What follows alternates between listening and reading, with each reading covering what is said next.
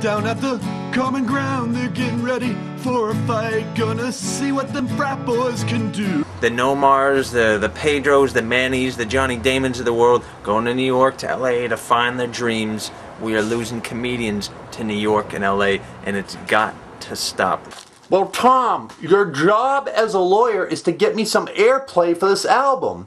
Now, how do I approach a program director at one of these radio stations where they bury all the local music on a Sunday night show? Open hand, front hand slap. That makes somebody a bitch. That's how it's done. You want me to open hand slap a program director for a major radio station to get some airplay? Just a fucking slap. Just slap them right in the fucking face. And that'll that'll make you less of a pussy because you become a little pussified and people don't want to hear what you're doing with the folky bullshit. Uh, where are you going?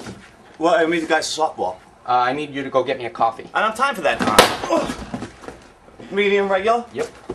So, Robby, I'm sorry. Everybody had to leave Ireland because there's no more potatoes. Right now, we here in Boston experience the uh, the opportunity famine. There's no there's no you know opportunity grown in the dirt like potatoes, so they got to go to L.A. and New York to eat you know the French fries. I mean, you get what I'm saying here. Aaron the King Wizard, you're supposed to be counting these CDs with me.